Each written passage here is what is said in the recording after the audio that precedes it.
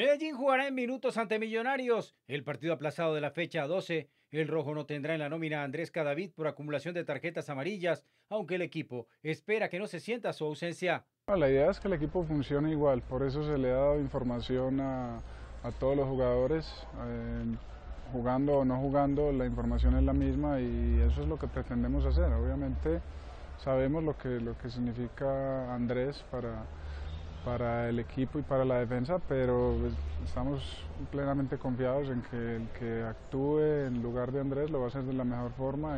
El otro central, que sí estará en la titular, será Víctor Moreno, con la idea de conservar el cero ante Millonarios, que no viene bien en los últimos juegos.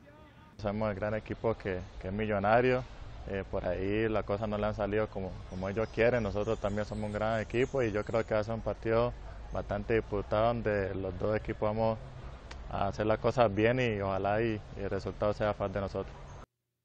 El juego será a las 8 de la noche en el Campín de Bogotá. Los dos equipos con 29 puntos necesitan la victoria para clasificar.